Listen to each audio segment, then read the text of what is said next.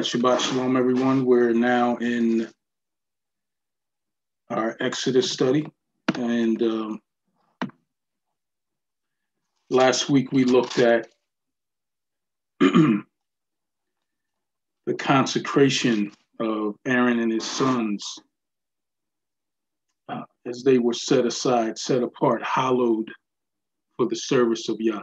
Um, and how important that is that we be set apart, you know, as we are given his words to deliver to people that don't know him, how we have to be different, how we have to be peculiar, how we walk differently, talk differently, dress differently.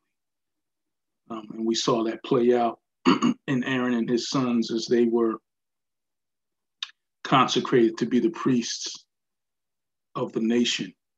Um, we talked about the offerings, the daily offerings, the offerings of what would atone for sin. And this week, we're going to go into um, the incense, the altar of incense, the ransom, the bronze laver, um, and the anointing oil. So we're going to be discussing these things and kind of seeing how they play out in our lives as well. Um, so we'll take each topic. Um, so the discussion of the altar of incense. Um, let's take that first. So we'll look at the first 10 verses. Who would like to read the first 10 verses? And for, for the newcomers, whoever reads um, the passage gets the first opportunity to uh, speak on what they see or what um, stands out to them um, as part of the discussion. So, um, the first 10 verses of, of, of, Exodus chapter 30, who would like to take those first 10 verses?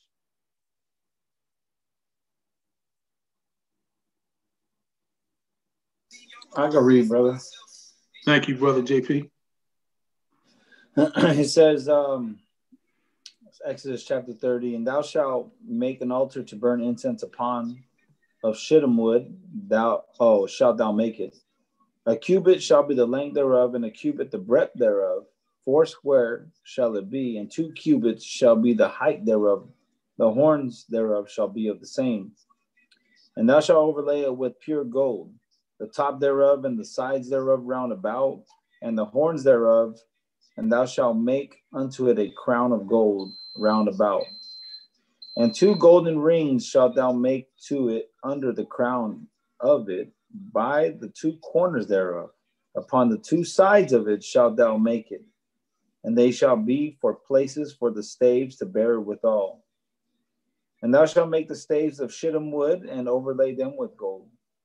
And thou shalt put it before the veil that is by the ark of the testimony before the mercy seat that is over the testimony, where I will meet with thee. And Aaron shall burn thereon sweet incense every morning. When he dresseth the lamps, he shall burn incense upon it.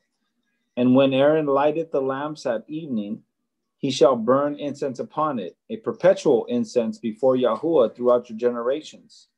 He shall offer no strange incense thereon, nor burnt sacrifice, nor meat offering, neither shall you pour drink offering thereon.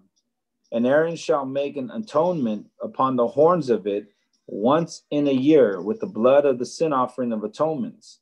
Once in the year shall he make atonement upon it throughout your generations. It is most holy unto Yahuah. Hallelujah. Um, I think we spoke about something similar. I want to say uh, I'm not sure, but the shittim wood and and and the um what kind of tree is that? Like I, I, haven't even looked or nothing like that, so I wouldn't be able to say. But um, because it's, it's particular acacia. Go ahead. Acacia wood, the tree. Oh, okay. So it's a, I, you know, it's it's interesting that because Yahuah chooses these certain items, you know, and he, he chose this, and then again we, I think we spoke about something similar, but you know, he tells he he says to make it out of that wood and then to overlay it with gold. You know, so it's not just like a a pure molten gold and and solidified just by gold, but it's actually the wood and it has the gold on it. And, and to me, a wood, um, you know, again, this is my mind is is life. You know, wood has life in it. You know, even when you cut the tree down, it's still a it's still a product of something that was life. And so it's interesting though that um, that's what I was seeing. Go ahead. Yeah, um, the the the gold um, uh, would would also reinforce and strengthen um, this altar. Um, there's a lot. There's a lot of things in this passage, man. um, you know,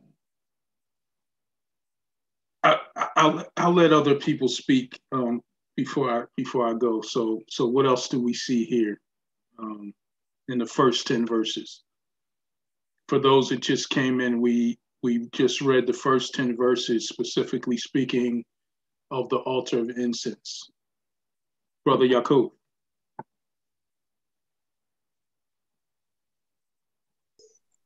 Shabbat Shalom. Shabbat Shalom, brother. You know, as uh, as JP was talking about the wood and the gold, something clicked with me. As uh, the, the, the, the human life, it's more of, of wood.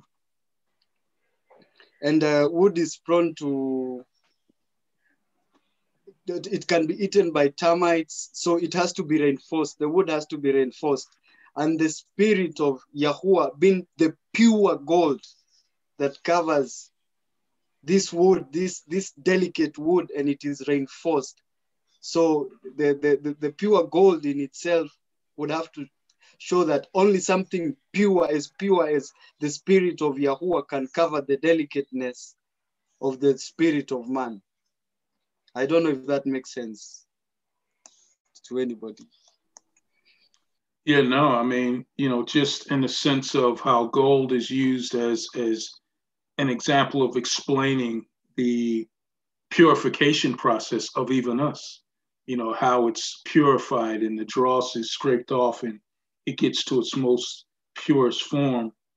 Um, and also those that are crafting it, because we talked about uh, the, the people that were uh, putting these things together, the seamstress, the the blacksmiths, the goldsmiths for this for that matter, the bronzesmiths as we're going to read later, um, uh, the, the, the, the lumberjacks cutting down the acacia trees were all sanctified and and set apart and gifted in a special way to perform these duties for for, for Yahuah. Um, in the same way that, um, or likened in the same way that uh, Aaron and his sons, Aharon and his sons, were set apart to be the priests. Um, so, um, all of these things taking place uh, as we're looking at um, the crafting of the altar of incense. What else do we see?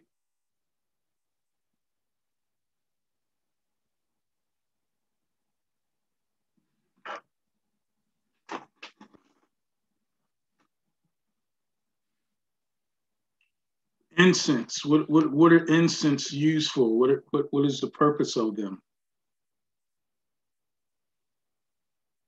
To be burned, right? For for for a, a fragrance, a smell, right? So this this particular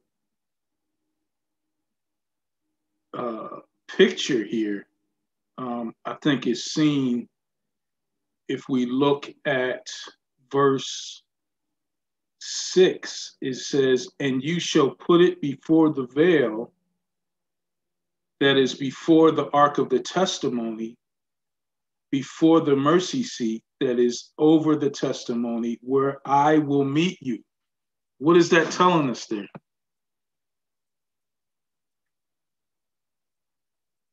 All right, let's let's do this another way. Let's let's look at a couple scriptures pertaining to incense and what it represents. Uh, David says in, in Psalm 141, uh, verse 2, let my prayer be set before you like incense.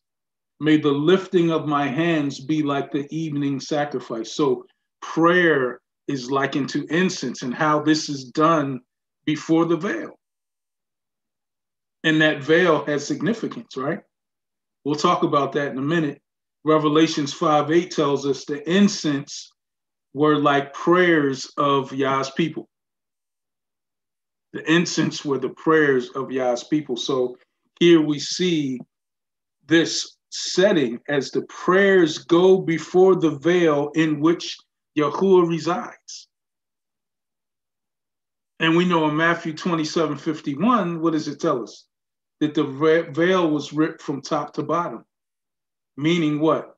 That we now have access to Yah through Yahushua Messiah, because that was the, at the moment of his, his death, right? So we see this picture of the incense being before the veil, which covers the Holy of Holies, our prayers going before and, and only through Yahusha. That is the only name that we will be saved by, and how that connects, how that uh, matches what we're reading here. So it, it's imperative that we look at these things and we make sure we understand the symbolism.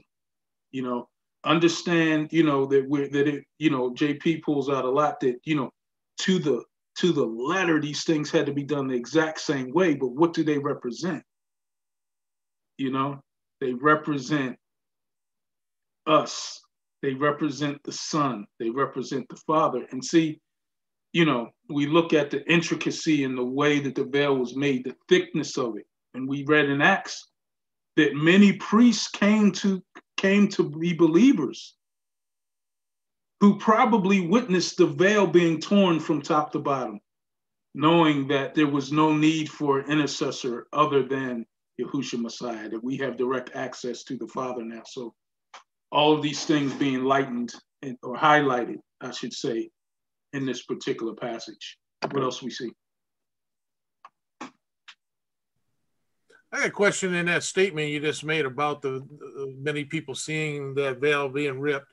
What wasn't the veil? Wasn't that like on the inner in the inner parts of the of the tabernacle? I didn't say many. I said the priests. Oh, the priest. Okay, yeah, yeah. I, am glad I clarified that because I was I, I, know them are the only ones that yeah. could see something like that. right, so, right, right, right. Yeah, yeah. yeah. I prefaced it by saying many priests came to know or came into the faith you know. Yeah, I'm tired, brother. I miss, I miss what you said. So oh, that's, we... that, that's all right, brother. That's all right, brother. no, but that that that that's a that's a great opportunity to to understand, you know, what we're reading here and the significance of what happens later, right, in Scripture. Um, JP. and and just uh going to verse 10 um because I, I, mean I know that we had it says you know this is a, a incense only but this is for incense you know but in verse 10 he says and Aaron shall make an atonement upon the horns of it once in a year with the blood of the sin offering of atonements once in a year shall make an atonement upon it throughout your generations it is most holy unto Yahuah and um, we can see some you know of course Leviticus 16 speaks about the day of atonement Right. But he goes on to, to show that that time of what um, Aaron is going to perform. Uh, 1612 speaks about it. He shall take a censer full of burning coals of fire from off the altar before Yahuah, and his hands full of sweet incense, beaten small, and bring it within the veil. And then he goes on to speak about that. Because I was just wondering, I, I, had to look into it to see what um, particular day he had to do this, and that was the particular day. And so that was that was an interesting uh, situation because um, I, I, think about Messiah and uh, when he was crucified and and that time um, when that time was what time period you know um, being that he was our atonement you know he was that atonement for us so just thinking about the time the time frame But yeah, absolutely. That would have been the Day of Atonement, uh, Leviticus 16. Uh, you know what's interesting about that chapter you mentioned? It also it not only does it talk about the Day of Atonement, but it talks about all of the utensils that were being cleansed um, for this particular, you know, ceremony. You know, each each thing had to be consecrated. Each thing had to be set apart and holy, cleansed in a particular way. Um, the washing represented, you know, the cleansing, the purification process of everything that was used, the knives, the, the ladles, the, the, the, the, the ladles, you know, all of the, the utensils, all of the, everything had to be cleansed in that particular way. So great, great chapter to, uh, to tie into here, because that's exactly what it's referring to, um, the Day of Atonement. Um, I saw Brother Nene, you wanted to say something? Yeah, more of a question. Uh, what is the implication of verse 9 or what do what do we understand from verse 9 because later on we come and say the two sons of aaron are offering a strange fire so what does it exactly mean do not offer strange incense on it strange or a, or a grain offering yeah. yeah strange could mean common it could also mean um uh ordinary, unsanctified, you know. So so that's what that would mean. So what's the implication to us as believers?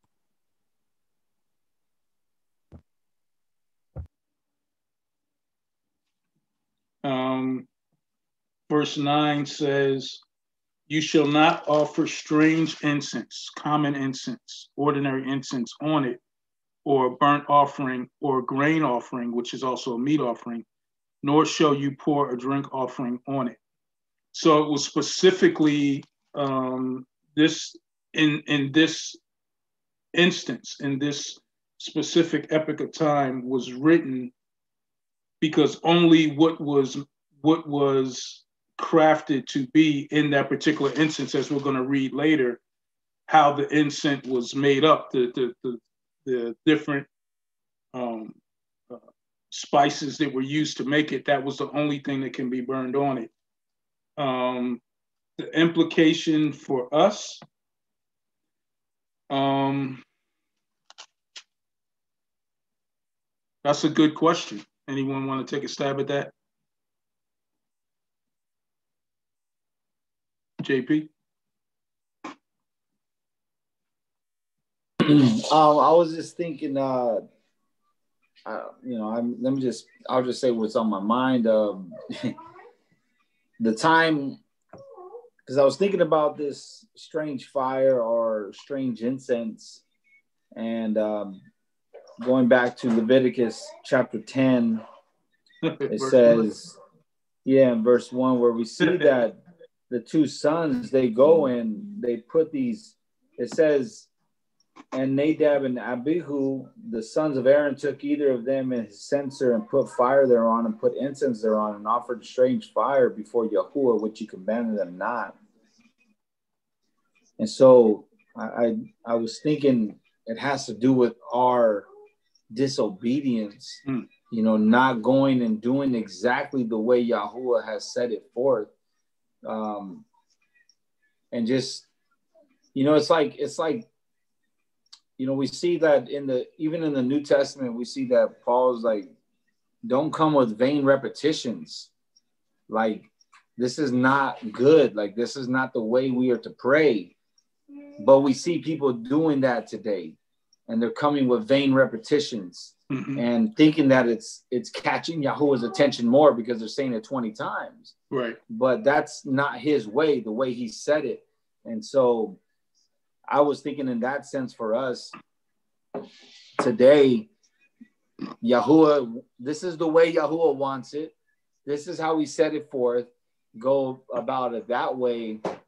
And I really, I'm really, you know, pondering on what the brother Nene was speaking on, how this applies to us.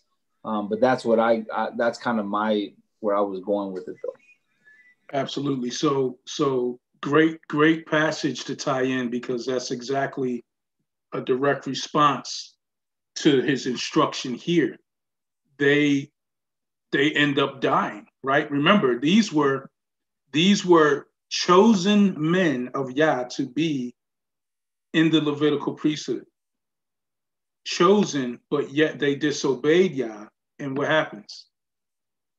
You know, they're taken out, they're cut off. Cut off a lot of times means to be put to death, right? So in this particular instance, the same implication it has for them, it has for us to follow Yah without equivocation, to follow him without interruption. You know, we talked earlier about having a true voice of Yah versus speaking something that is not of him. You know, we are to follow his instructions to a T. We don't make up our own instructions. We don't look in scripture and say, well, we don't have to do that because this is thus and so. No, this is what the scripture tells us to do. We are not to put strange incense or anything other than what he says put here. This is about obedience and following his instructions without question. So, JP. Yeah, and the and the word itself, you know, I was I wanted to look up that word strange, excuse me, and it means it says zur, um, a primitive root to turn aside, especially for lodging. Hmm. Um, hence, it says to be a foreigner, strange, profane, and then it says specifically um, active participle uh, to commit adultery. So you know it's that deep. It's that deep to to come with something different. You know what I mean? So it ties into what we were talking about earlier as well right? Um, you know, the broad sense of the understanding of the meaning of the word adultery, in that it is doing something that is against Yah, basically, doing something that is against his Torah. Remember, these are instructions at this point being given to Moshe for the people to do. He is to follow them, they are to follow what he says. Um, and if not, they will be cut off, as we'll see later. So um, hopefully that answers your question, Yaakov. Oh no, I mean um, Nene. Uh, you had your hand raised again. Yeah, yeah, yeah. Just uh, something that has come to me right now. I don't know if we can tie this from the presentation JP has made. I don't know if we can make this interrelationship. Now we understand that our bodies are now the temple of the Ruach, right? And uh, when Yahushua was speaking to us, he was uh, cautioning us that we are part of one body, right? We are, he is the vine, we are the branches. So it's an it's an all interconnected thing. So in when the early church was beginning, we say Ananias and Sapphira, they're coming to the altar, quote unquote, with words and they're speaking words that are you know they're defiling and they're incest it's, it's not acceptable before. I don't know if we can tie it up with that scenario. Well yeah yeah that that and definitely ties into the adulterous um, uh, mindset. Because remember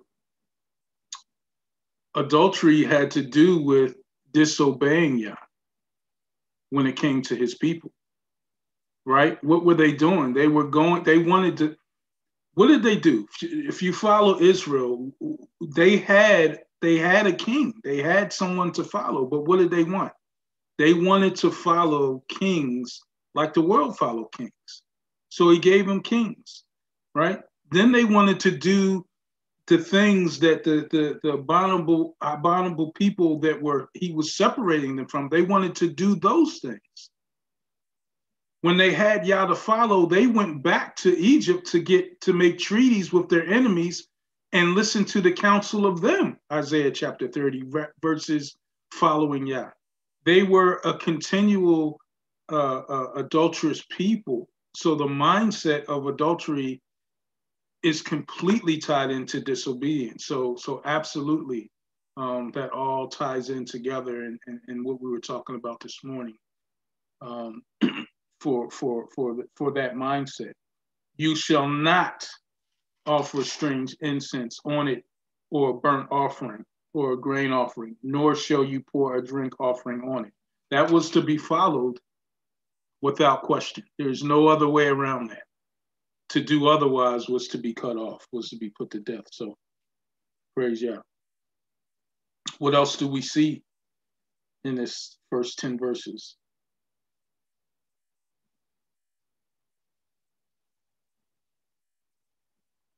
You know, and, and also too, just like how we cannot be we can't take prayer for granted. If we're likening, if scripture likens prayer to incense, that sweet smelling savor could be the, the, the smell of our breath to him as we speak to him in prayer. You know, did you brush your teeth? Did you floss? You know, are you are you cleansed? You know, how are we approaching him? you know so this is this is uh, you you, you want to talk about direct connection we want to talk about how does this play out for us we have to be in a constant mind. you know it says pray without ceasing it doesn't mean drive around the neighborhood with your eyes closed no it says constantly be in the mindset of prayer and supplication to the father in all things we seek him you know every decision every um you know uh, idea, you know, every business opportunity, every movement of the family from one place to another, all of these things we we we take to Yah. You know, you know, we clean, you know, we cleanse our mouth, you know, before we speak to him. We want it to be a sweet smelling savor to him, just as these incense were. So let's keep that in mind as we go forth to try to make sure that we tie in the instructions to what they actually mean, right? Praise God. Go ahead, JP.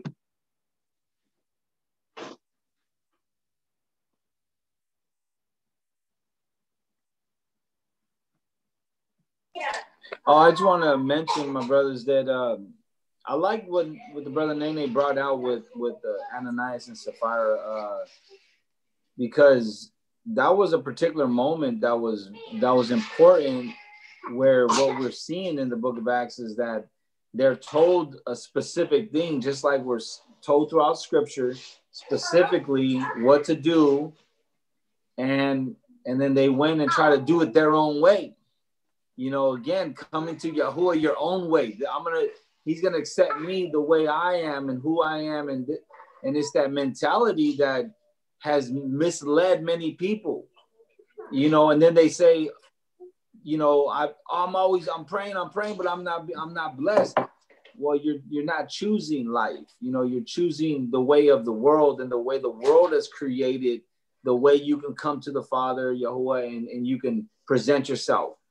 But Yahuah is telling you, no, I want you to come like this. And with Ananias and Sapphira is like, you're gonna do this, you're gonna sell all your stuff and you're gonna bring it and put it in this pot. Like I don't care how much, if it was a million dollars, you know what I'm saying? Like, I don't know how much money it was, you know, but it seemed like it was a lot, like for that person to have to give up. You know what I mean? Like in my modern term of my mind, it must have been like all their property. Like who knows? I don't know how much they had or, or what it was, you know? Well, so I think I think that I think I think to your point, it, it really doesn't matter how much it was. It was the idea that they were deceiving or thought they could get away with holding something back. You know, whether it was two cents, 50 cents, or 50 million, they deceived by acting like they were given a lot, but it was a whole, a whole lot more that they should have given to be honest with the direction to what Yah was getting. And what does that remind you of?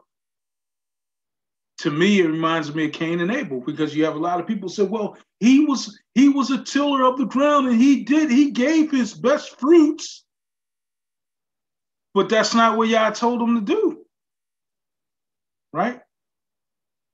He told him to slaughter and bring forth a lamb, right? So we can never create our own picture. It even goes further back than that the garden. What happened when when when when when when when Adam and Eve partook of the fruit? What did they do? They covered themselves with fig leaves. Yah said, nah, that's not to cover you. This is how I cover you animal skins. Right?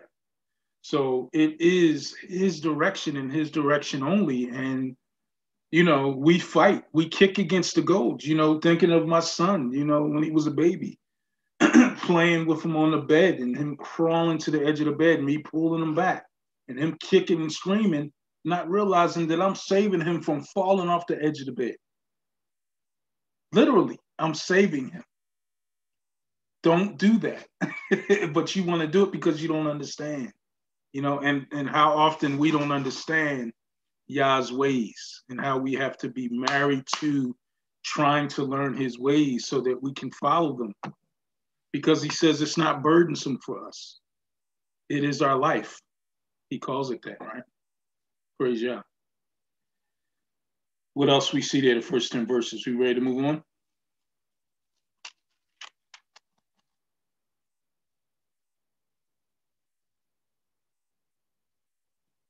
All right. Um, let's look at the next couple verses. Let's look at, let's read from verse 17.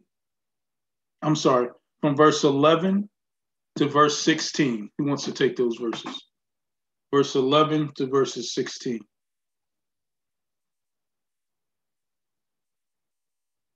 Come on, scholars. Go ahead, Nene.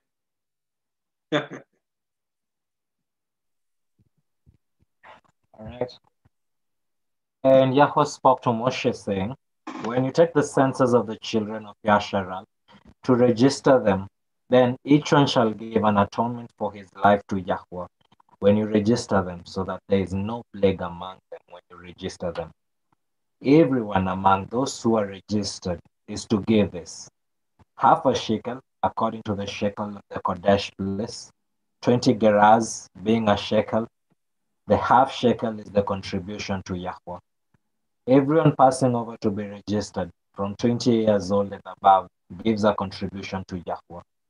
The rich does not give more, and the poor does not give less than half a shekel when you give a contribution to Yahweh to make atonement for yourselves.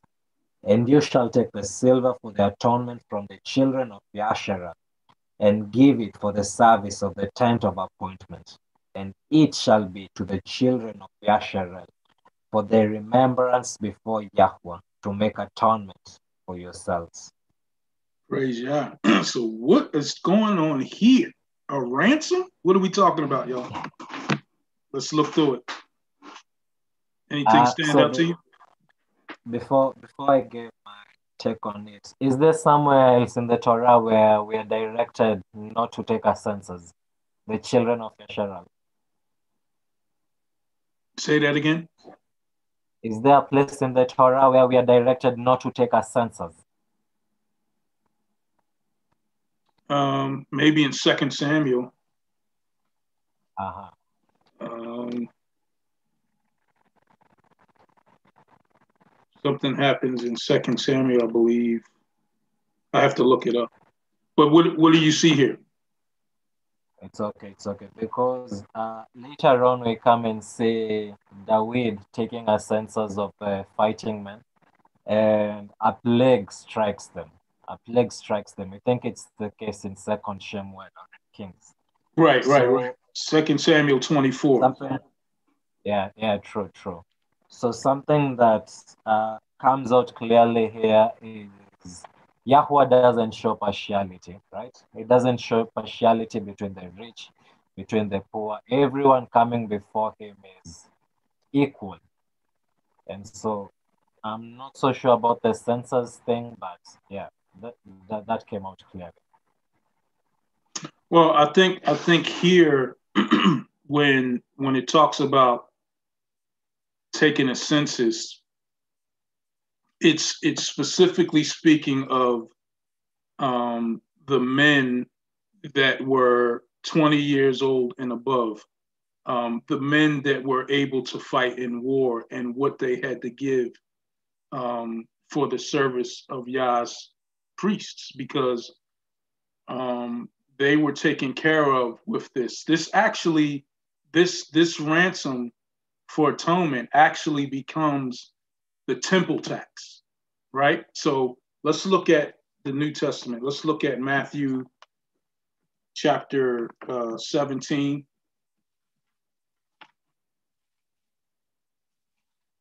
Matthew chapter 17, and let's look at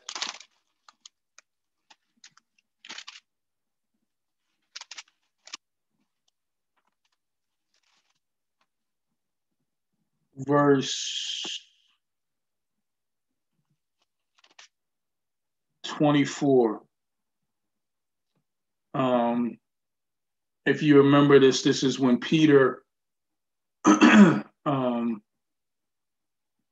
Yahushua had to pay taxes. Listen what it says. It says, when they had come to Capernaum, those who received the temple tax came to Peter and said, Does your teacher not pay the temple tax? Question mark. Peter says, Yes. And when he had come into the house, Yahushua anticipated him, saying, What do you think, Simon? From whom do the kings of the earth take custom or taxes? From their sons or from strangers? Question mark. Peter said to him, From strangers. Yahushua said to him, Then the sons are free. Nevertheless, we often offend them. Go to the sea, cast in a hook, and take the fish that comes up. And when you have opened its mouth, you will find a piece of money. Take that and give it to them for me and for you. So we see um, this temple tax, um, the tradition continue and Yahushua pays Caesar what is Caesar's. Praise Yah. Um, so as not to offend. But, you know, the census totally here dealing with the number of men to know who should give because the, the it wasn't the women that were to give, it wasn't the children that were to give, it was the men that were of able age that could go to war. Um, we see that in other passages if we if we look at some of the cross references here, um, I think in Numbers, um, it speaks of it, and uh, where else? Uh, several different passages. It talks about um, uh, the census. So um, we can add to that as we go along. Uh, Brother Yaakov. Um, yes, uh, as pertaining the census, when you mentioned the second Samuel, this is the part where Yahweh is angered by David doing a census, uh, counting all the children of Yasharal. But we also find in Numbers 149, they're given clear instructions. They must not count the tribe of Levi. Right. Or include them in a census of, of the other Israelites. Right. So only the tribe of Levi was not to be counted in any census. So connecting it with the what the, the one you had on Second Samuel, David counts all the children, the tribe of Judah and all of Israel. So that must have included the the Levites, and that, that is what angered Yahweh. Yeah, the Levites, the Levites were actually the ones that received um, this offering, uh, this ransom that was taken. Um, they were the ones performing all of the, the, the rituals, the sacrifices, um, and they were to be taken care of um, for, for Yah's service. So um, that's what that's talking about. Very good point uh, about what David did um, in Second Samuel. What else do we see here? a half a shekel uh, from from what I looked at was about 50 cents. Um, and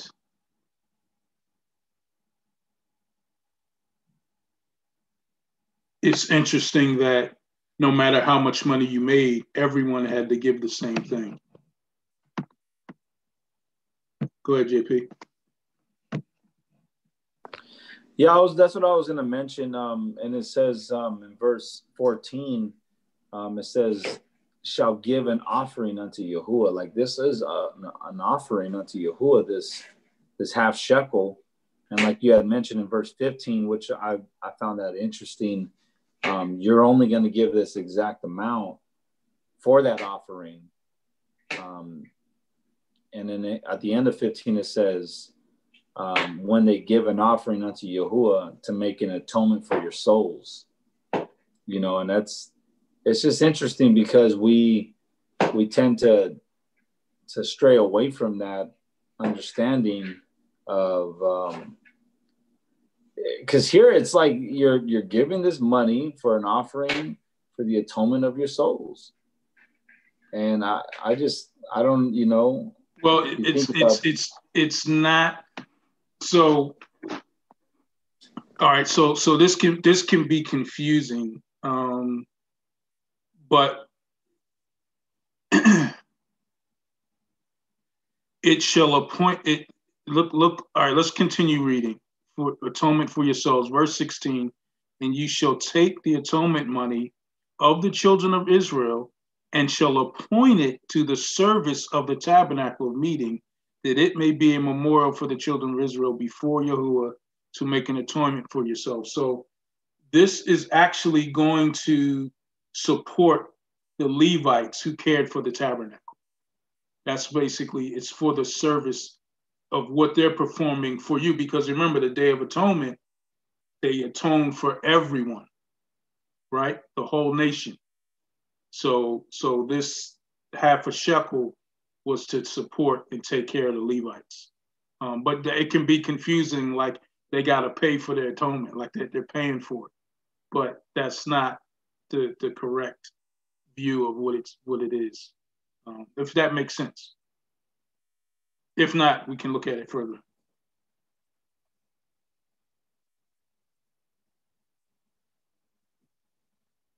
All right. Um, All right, let's look at the next. Uh, do we see anything else there?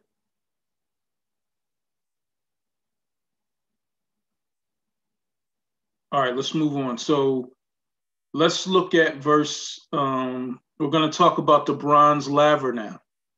So this this particular um, this this is a particularly um, interesting portion of scripture. So let's go from verse 17 to verse 21. Read from verse 17 to verse 21. Anyone?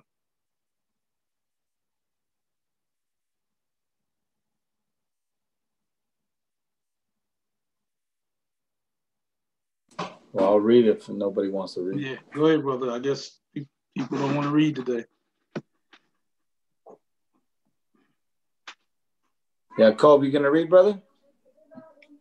Uh, you, you you take it on. I'll take on the next one because you okay. you had already come up. So you said 17 to 24? 21. Oh, I'm sorry. I'm sorry. What book are we in? The book of Exodus. Okay, thanks. Exodus chapter 30. Yes, yes, sir. All right, it says, And Yahuah spoke unto Moses, saying, Thou shalt also make a laver of brass and his foot also of brass to wash withal, and thou shalt put it between the tabernacle of the congregation and the altar, and thou shalt put water therein.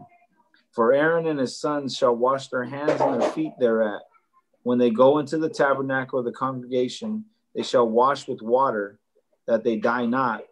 Or when they come near to the altar to minister, to burn offering made by fire unto Yahuah. So they shall wash their hands and their feet, that they die not, and it shall be a statute forever to them, even to him and to his seed throughout their generations. Praise God. Praise God. Man, I just, I don't know. It kind of, I, I see it in this way of, um, you know, again, just applying it to my life. um, being washed clean again before I come to the altar, you know, being washed clean and not being dirty, not in the physical world, you know, not in the physical. I mean, you could probably take it there, but, I'm looking at it like my my internal, you know what I'm saying, my my soul. And if I'm not washed clean by Hamashiach, then and then I'm I'm dirty and coming to the altar again with that strange fire not coming the way he wants it. So you know that that's very important what you just said.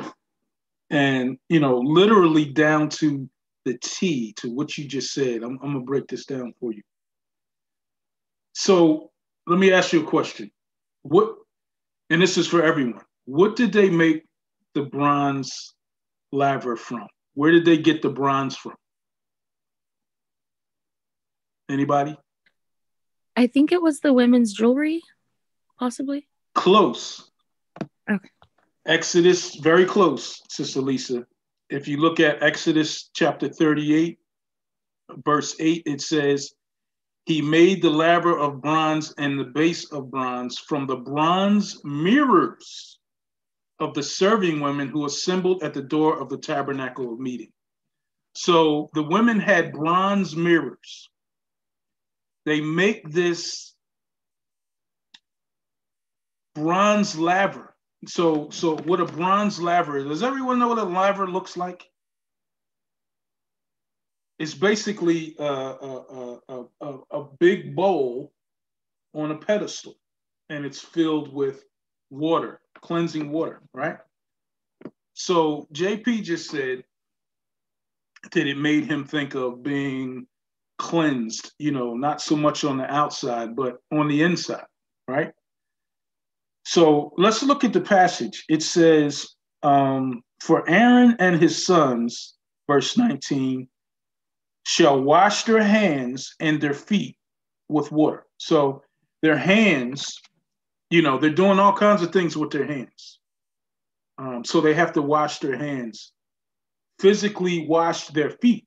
And remember, they wore sandals, so they very often had to wash their feet because their feet got dirty from from the sand, from the dirt, from the ground. You know, that's why you know the, the foot washing ceremonies um, were specifically needed because their feet were dirty. You know, um, you know, there's a whole nother thing with that that I won't get into, but um, so they're physically cleansing themselves. But watch this as they as they bend down to wash their hands in the laver mirrors were made with bronze so they can literally see themselves so that they know what they look like whether it be a physical cleansing or an opportunity to what? Look themselves in the mirror have an inter introspection have self examination before they set, step before the Lord, before Yahuah to do service. Do y'all see that? So, literally, each priest would have an opportunity to visually examine himself and introspect on his life, the cleansing of his life, being fit and consecrated for the service of Yahuah. So, there's a great picture drawn here for us, you know, as we do things so called in the name of Yah. You know, we talked earlier about, you know, many will say, you know, Master, Master, haven't I done these things in your name? Depart from me, you workers of iniquity. I never knew you. Why? Because you were not cleansed. You were not doing it in my name because what came out of your mouth was contrary to what my Ruach had in store for you to be said at that particular time. So this this bronze laver, this um, the picture of them washing their hands and seeing themselves before they went into the Holy Holies was a vital, vital part of this ceremony and meant to draw attention to each one before they did so. So very good portion of, of scripture here um, for us to see. We see anything else there, Brother Nene? Oh, that's really, really deep. And you brought me back uh, to the case where they are told to Moshe is commanded to make a brazen serpent, yeah, right? A serpent made of bronze. And all along in the first covenant books, the children of Israel don't understand the implication of this brazen serpent. And actually, the prophets have to deal with this later on because it becomes a symbol of idolatry for them. So we only come to understand this brazen serpent through the cross, through Hamashiach being lifted up. That's when we come to understand it. And when you understand bronze in the scripture, it refers to the judgment, the process of judgment, right? Mm-hmm. And so when that snake is lifted up, when that bronze is lifted up, it reflects the sun. And so these people get to see that reflection, not, not really the serpent, but the reflection. Right. And so when we go to the cross, we have the chance to see that reflection, to receive judgment, or rather to be purified and washed. And so it just interlinks with what you're saying, and it's beautiful. Absolutely. Very good. Very good. Because, you know, we talk about seeing the reflection in the bronze as they wash their hands, knowing the judgment is coming when they step behind that Holy of Holies. Because if they did not stand right before Yah, if there was unconfessed sin before they went into the Holy Holies behind that veil, that's the reason that rope was tied around that inner thigh to drag them out because they dropped dead, right? So praise Yah. Um, very good picture, brother. I appreciate that. Um, Sister Lisa, Brother Angel. Hi, shalom, Shabbat shalom. Shabbat shalom. Where where do we see this um this uh, laver and um Solomon's temple? And does it represent anything to do with uh being immersed? Just wondering. Um, well, th- this particular was was the bowl that they would wash their hands with. Um, okay, because I thought like when um Solomon built the temple that it was a replica somewhat of this tabernacle. So I was just wondering, is it? I was just wondering if it was the um the bowl they would wash with that had the oxen, the, the four corner, uh, four um not corners, an ox at each corner. If it was the, because I've seen a temple like a replica of the temple diagram, and I was like, okay, so I'm just wondering if this is what they're talking about. Um, this one, let me see.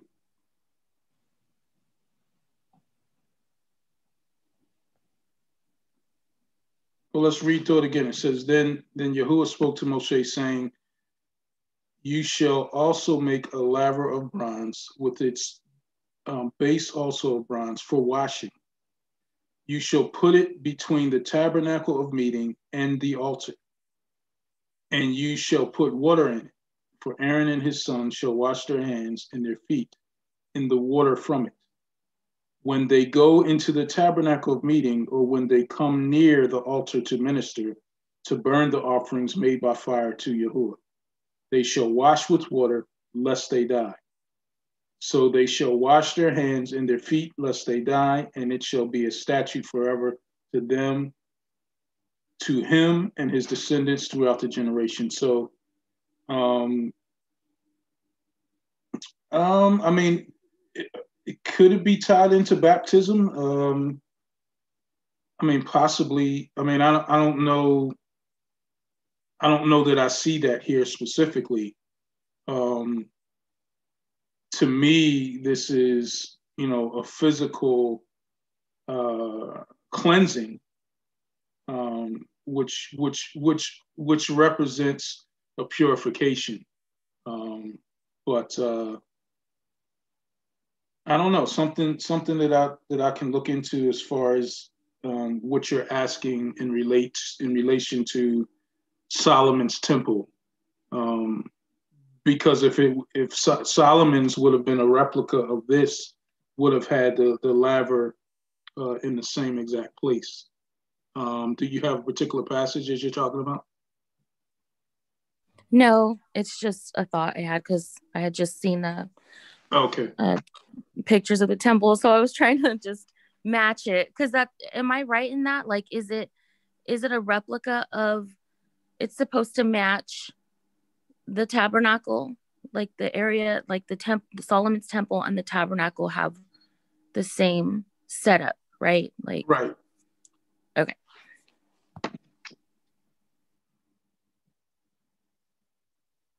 Uh, Sister Poppy and then Sister Diane. I have a question, if I may. Yes. Um, I know in the LDS church, they actually have a recreation of a the laver with the bowls on either or on the four corners holding it up, and that I believe is what they do baptisms in. Is that like uh, horrible to recreate something like that? Um, what will be the purpose of recreating it for us? I, I, I don't know. I'm just wondering because I live in a very prominent LDS area. I'm wondering if that's something I could approach people Um, about. I mean, they're probably just, you know, from from from my understanding, they would be doing it simply for ritual. You know, um, Catholics have something similar too at the in, right outside their sanctuary. Oh, You know, filled with water. So it's it's a very common thing um, to have a laver type um, uh, model. The pre the, the Catholic priests wash their hands in it before they go into the sanctuary to do their service. So they're they're emulating what they're reading here, uh, basically. Um, I don't know that it's necessary for us. You know what I mean? You know, because for us, we're we're represent we're represented by the cleansing of the blood of Messiah. So we are cleansed. We have to remain so by making sure that we have short accounts of sin and confess sin, you know, making sure that I'm not going to pray for you, sister, if I got sin that's unconfessed. I'm not clean. I need to confess that sin, you know, be back, turn back to Torah, you know, be on the straight and narrow before I can represent you, intercess for you, or else my prayers won't be heard. So um, it's all uh, uh, representing something that we now do the cleansing before service, you know, the prayer, the confession of sin, being right before Yah, coming into his sanctuary, coming into his Shabbat. Like we come into his Shabbat cleansed.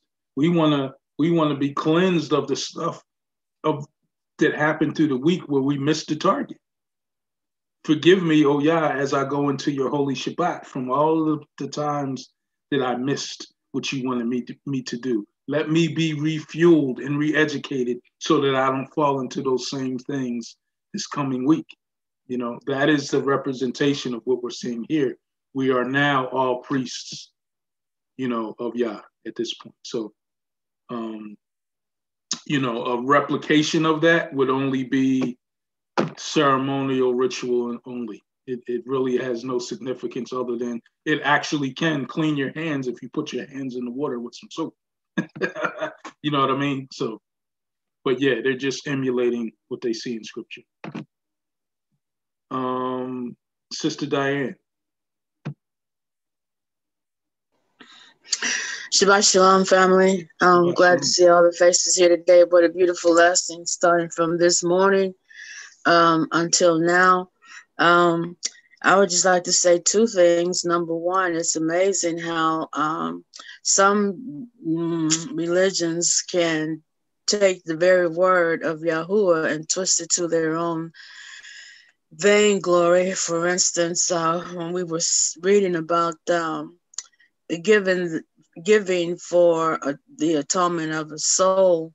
Um, when we were talking about that the first thing came to mind was uh, the catholic church and how they would uh, charge people um, to have their sins removed and, and, and not only their sins but the sins of their family and, and even deceased ones. So um, you know this this um it's just amazing how they can take these scriptures and twist them around but we know that hasatan you know is really good for this. Um i wanted to address this uh laver um the the scripture that um sister lisa um is talking about it would be found in um first kings 7 and 38 and it's actually referenced from um, Exodus 30 and 18. It actually references that. Um, however, the reference, First Kings 7 and 38, the laver is a lot bigger. So yeah, it, it makes you know makes one wonder um, why did he make it um, as large as he did if the one in Exodus was just for the cleansing, you know, washing your hand, like a, a face basin, pretty much. Um, so that's, yeah, I just thought that was an, an, an interesting um, question and concept. I hadn't really thought of that before, but you said First went, Kings what? Uh, seven and thirty-eight. All right, seven and thirty-eight. Then he made 10 lavers of bronze. Each laver contained 40 baths, and each laver was four cubits. Um, on each of the 10 carts was a laver. And he put five carts on the right side of the house and five carts on the left side of the house. He set the sea on the okay. Um, well, you know, in the case that you said, so everything was bigger that Solomon built you know, the tabernacle he he had was huge. You know, um, there is a difference in size. I actually was looking at when we were going over the tabernacle. I saw some charts of the size difference between Solomon's um, and and what was was done here in Exodus. So um, I'm gonna look into that more as as to to why it was the way it was. If anyone else knows, please uh, chime in. And you know what is interesting about that is that um, he was given the dimensions for everything. You know, he, he didn't do any of this arbitrarily, so it's it's uh, definitely worth a study. I mean, it's just coming to my attention as well. Praise Yah. Absolutely. Thank you for uh, following up on that. Now, now I understand what um, Sister Lisa was asking about. Okay, we'll look into that uh, Brother Nene. Yeah, so we say Solomon, I think it's in Ecclesiastes. I'm not so sure you can remind, correct me if I'm wrong. I can't, I, I can't hear you, brother. How about now? Yeah. I'm clearer? Yes. Yes. Uh, so I think it's in Ecclesiastes where Solomon tells us that if you go to the presence of Yah and you want to offer sacrifice and you remember that you have wronged your brother in any way, you know.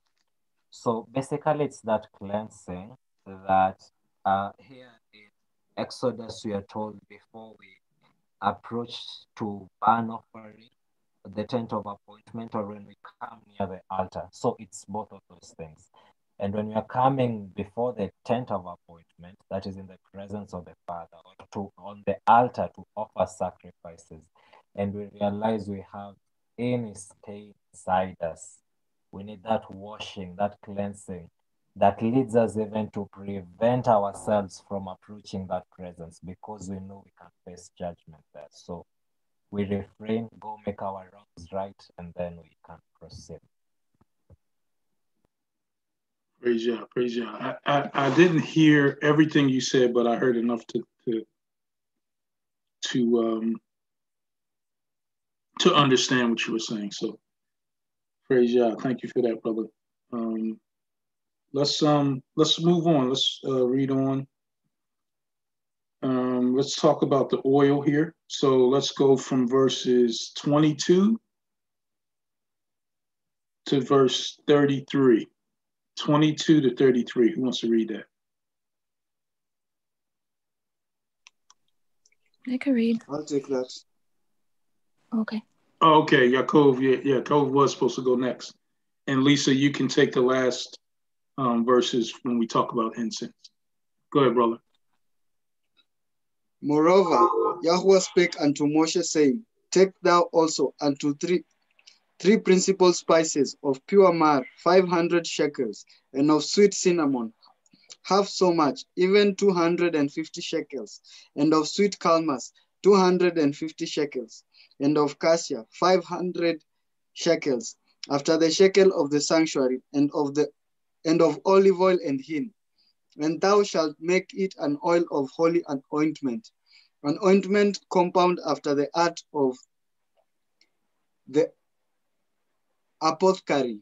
If it shall be an holy anointing oil, and thou shalt anoint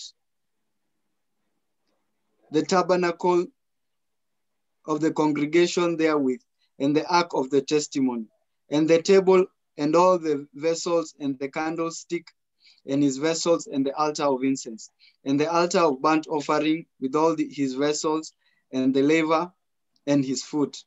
And thou shalt sanctify them, that they may be most holy. Whatsoever toucheth them shall be holy.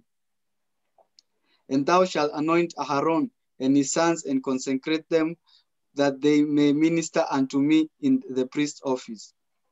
And thou shalt speak unto the children of Yasharal, saying, This shall be an holy anointing oil unto me throughout your generation. Upon man's flesh shall it not be poured, neither shall ye make any other like it after the composition of it. It is holy, and it shall be holy unto you. Whosoever compoundeth anything like it, or whosoever putteth any of it upon a stranger, shall be cut off from his people. Man, there's that cut off again we talked about earlier. What you got, Yaakov? No, it's it's just the the the, the, the, the instructions, the, the, the details that Yahweh gives to Moshe. There's a specific composition to the oil and the ingredients, and he, uh, he he says that nobody shall try and make it or make anything like it for other for any other purpose other than what I have ascribed unto it. Yeah and and and you find everything that uh, everything that is holy everything that yahweh considers holy uh, in, in the nations in, in, in, in, in what we call religion is what is it's being used for other reasons than what it was ascribed for yeah. you find that with like the sabbath it is holy unto yahweh but it is not been used for that. So that's what I get with the holy anointing oil and its specification. Yeah, I mean, you know, I think about, you know, incense, you know, like I, you know, through through my years, um, specifically, you know, my twenties, between the age of twenty and thirty, or I would say even before that, between maybe seventeen and thirty, you know, incense were a big part of of, of my life.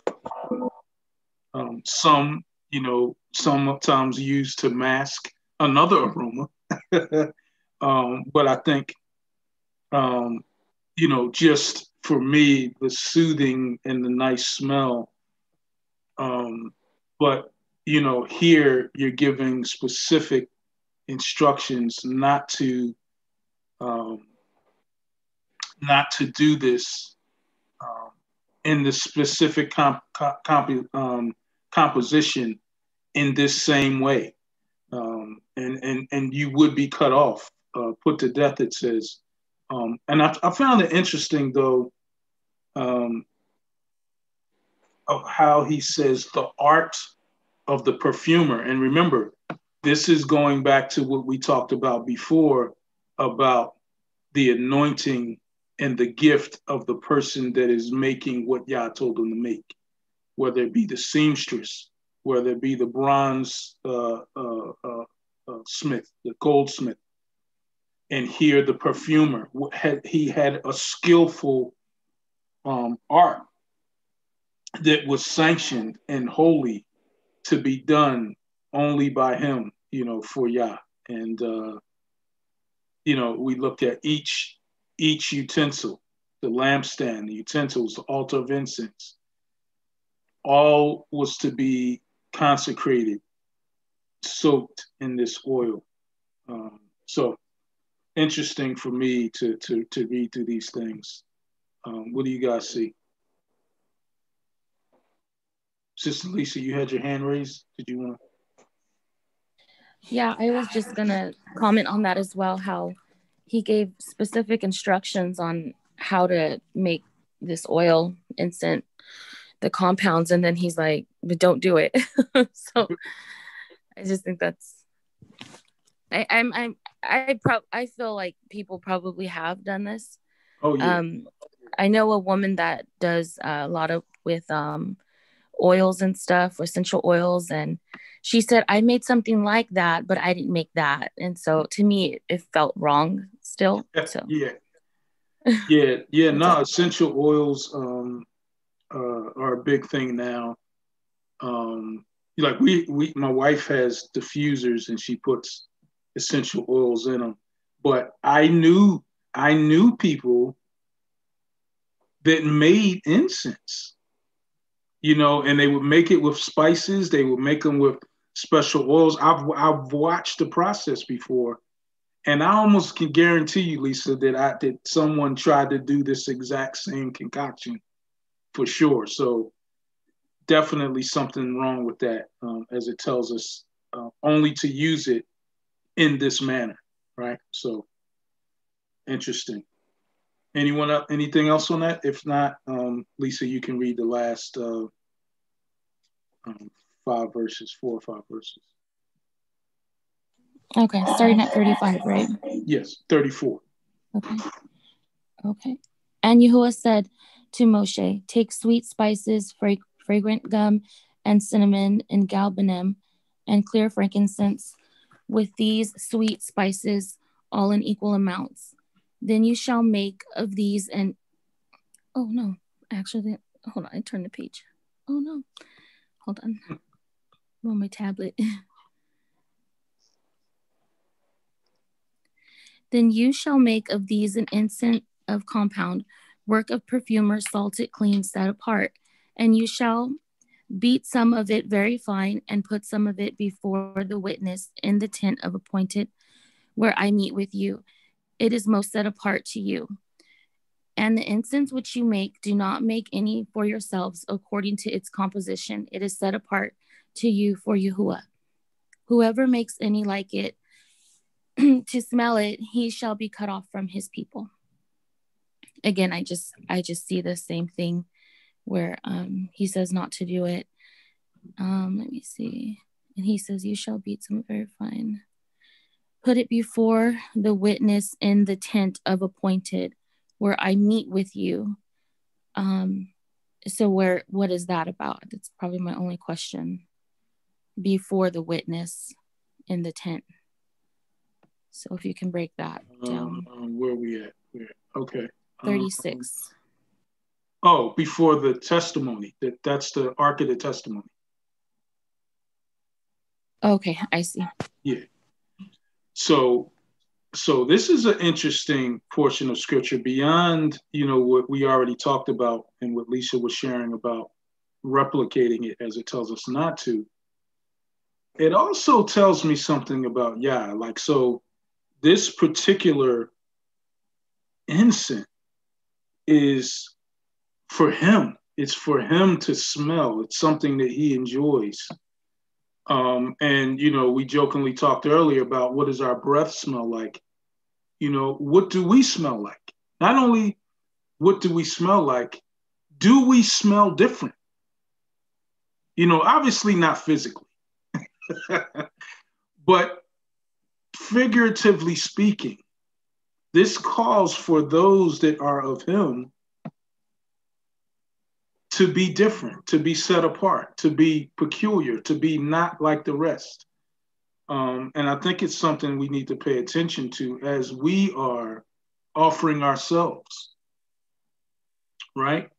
As we are the offerings, the incense, our prayers to Him to be accepted? Is it different than the world? Is it different than the grandiose prayers that are done in the courtyards? Because that's not for Him. You know, somebody spoke about that earlier about these grandiose prayers that people pray that Yah doesn't require. Not only does He, or nor does He want, those aren't done for Him. Those are for everybody else here. And so they can say, Ooh, listen to how He prays. No, He wants a contrite heart pointed towards Him. And I think, you know, when we read passages like this, we make the connection to His set apart people. We don't smell we don't mm-hmm. sound, we don't act, we don't talk like anyone else. We are chosen of Yah, and we ought to act that way. We ought to respond that way. Um, so, um, very good, very good section of scripture here. And you shall beat some of it very fine and put some of it before the testimony in the tabernacle of meeting, where I will meet you it shall be most holy to you. But as for the incense which you shall make, you shall not make any for yourselves according to its composition. It shall be too, too holy. Eh, I'm sorry, it shall be to you holy for Yahuah. Whoever makes any like it to smell it, he shall be cut off from his people, cut off,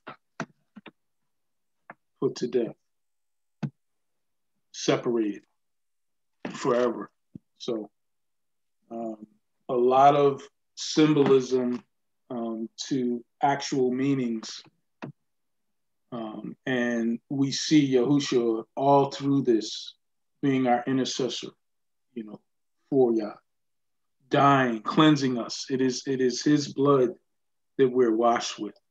You know, someone talked about baptism earlier, the representation of the baptism us dying with him and rising with him in this new life. Our old man being put to death. We are we, we are now a new creature um, for Yah. So praise Yah. Do we see anything else there, Sister Diane?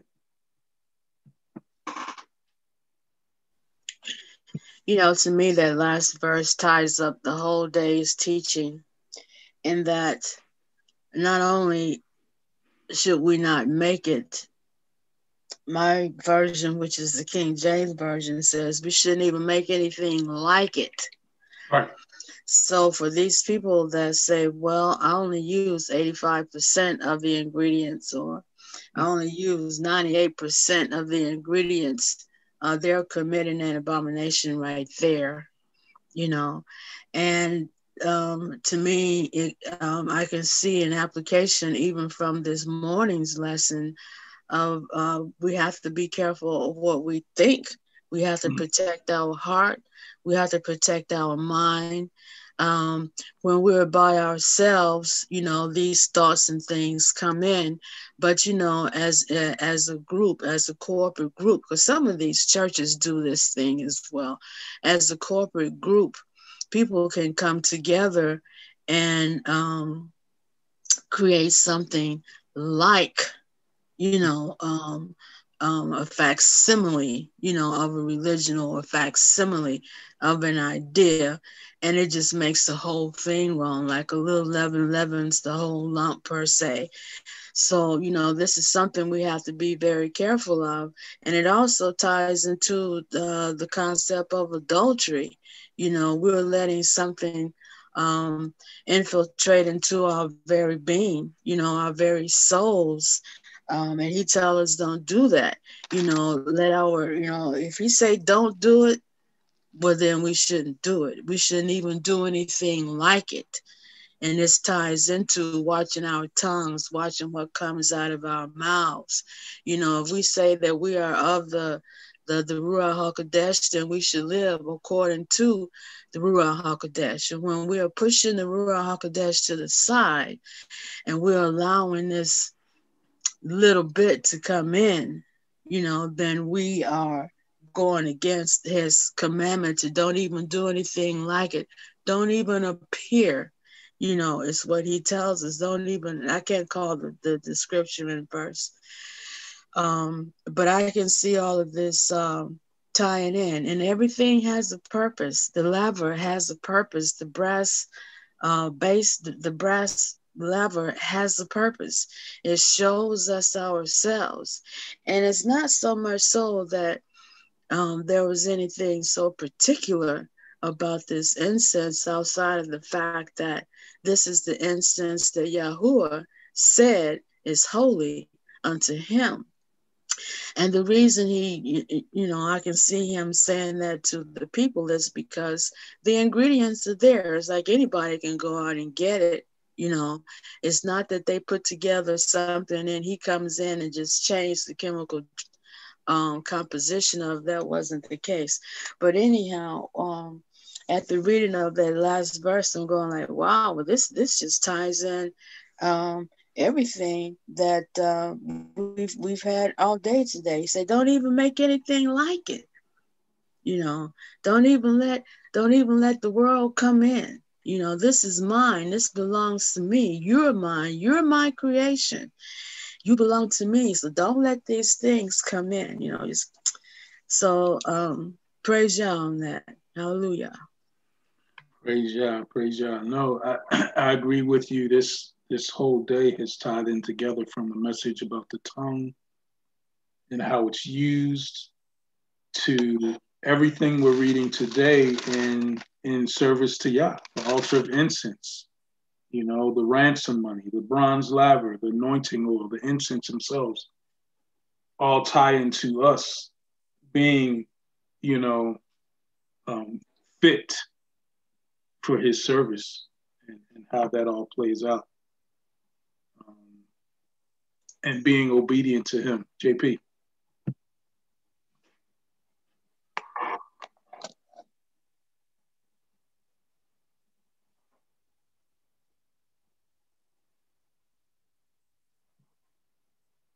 Go ahead, JP.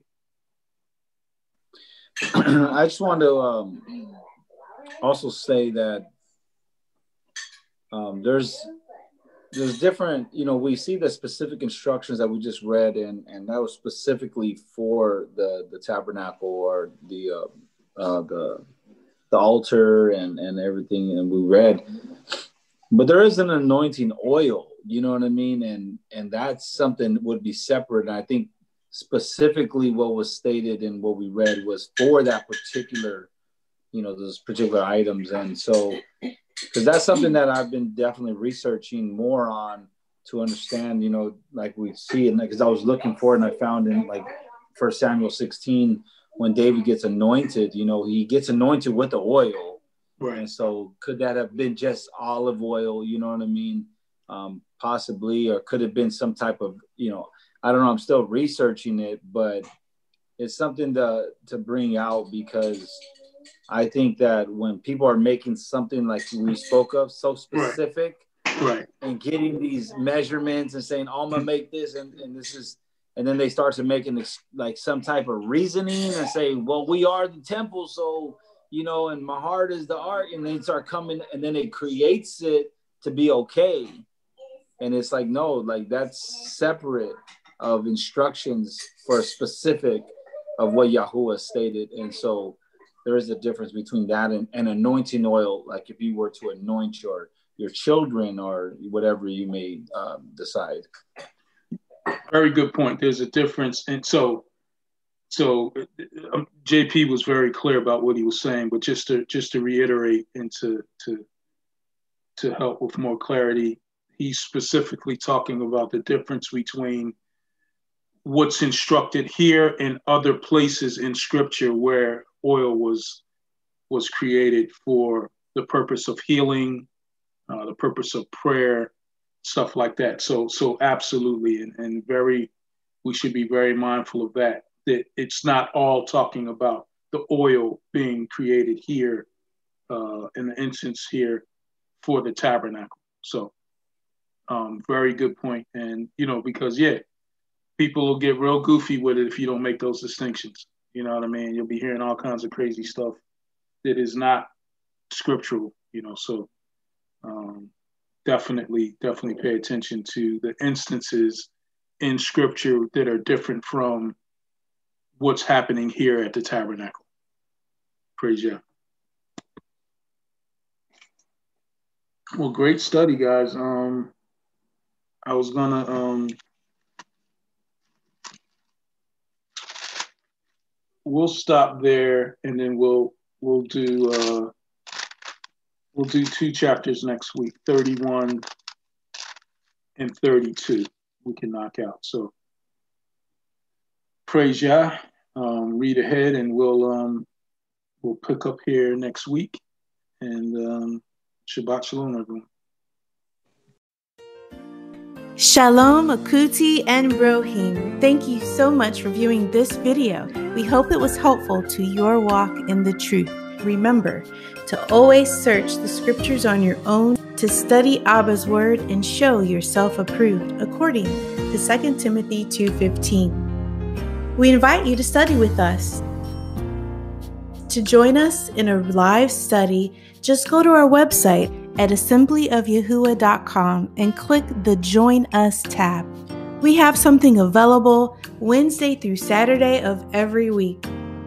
If you've been Baruch or blessed by this video today or any other study, we encourage you to go to the Giving tab on our website. Our elders all have their own ways of income, so none of the giving or proceeds go to them. Instead, it goes to biblical assembly needs. We also encourage you to subscribe to our YouTube channel so that you don't miss any new videos. We sincerely pray that Abba continues to direct your path as you acknowledge Him in all your ways. Much ahavah and again shalom.